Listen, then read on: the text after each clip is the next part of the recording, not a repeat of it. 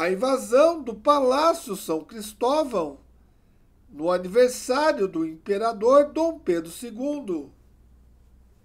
Após a abolição da escravidão, a simpatia popular não só se dirigia à princesa Isabel, mas também a Dom Pedro II, como ficou evidenciado por ocasião do aniversário do velho imperador, a 2 de dezembro de 1888.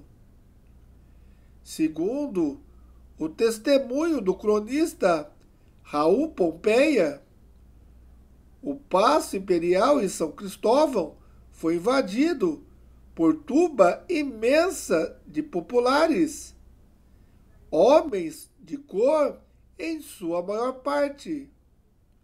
A polícia teve que intervir para convencer alguns dos manifestantes de que pelo menos vestissem uma camisa para se apresentar ao imperador.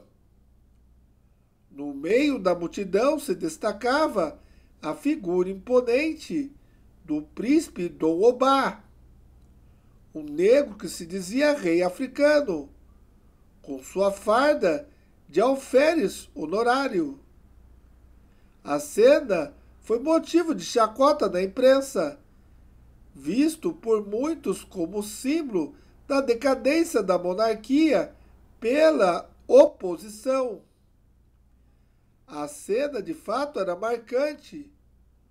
Um príncipe negro, cercado por uma multidão de miseráveis, indo saudar o imperador de olhos azuis.